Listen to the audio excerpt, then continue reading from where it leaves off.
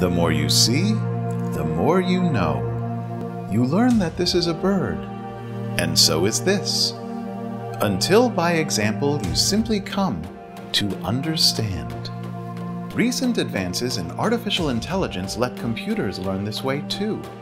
The minds of today's AI also hunger for stimulus. And now their appetites are growing beyond what yesterday's datasets could provide. Join us as Bart Thomee introduces the biggest dataset of photos and videos yet in YFCC 100M, the new data in multimedia research.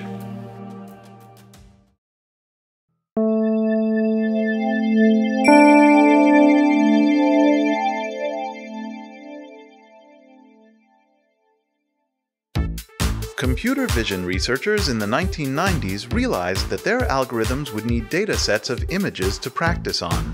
But times have changed, and today's researchers need even more. Problem with most datasets, fortunately, is that either they're images or they're videos, but not multimodal, so to say, where you have all these different types of media, as well as, um, well, it's a bit copyright, copyright and legal issues. So Dr. Thomee and his colleagues collected 100 million items, approximately 99 million photos and 1 million videos, from the library of the photo sharing service Flickr, a Yahoo company. This is the Yahoo Flickr Creative Commons 100 million, or YFCC 100M for short. The collection is both broader and deeper than any that's come before it. Just as importantly, it comes with clear licensing guidelines. The, the YFCC 100M is one of the exceptions where, since it's all Creative Commons, which some can actually be commercially used, it's um, open to anyone in the world to, to use it. The team has made YFCC 100M available for free in several ways. The basic metadata alone comprise 12.5 gigabytes, with more metadata available through Flickr's API. So we've, we've made the, the effort of giving people the, the, the static information the like the title, description, tags.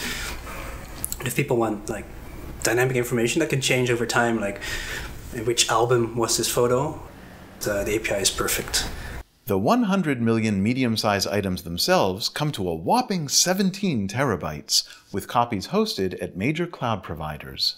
They say we want all photos of sunsets taken in, no, in this bounding box. They could issue, write a little script that does that, and Amazon would give them back the results, just like our grid would return back the same results. The researchers continue to enhance YFCC 100M with expansion packs, such as one with automatic recognition of visual concepts. The research community at large has improved access, demonstrated applications, and added further features. These advances motivate Dr. Thomee, just as YFCC 100M motivates others. My drive for in this project was to have an equal footing for everyone. And at the same time, of course, I, I hope that if I see other people do interesting things with it, I, it inspires me to, or use that to go further in another direction that, you know, I hadn't foreseen myself. Find out more in the contributed article YFCC 100M the new data in multimedia research in the February 2016 issue of Communications of the ACM.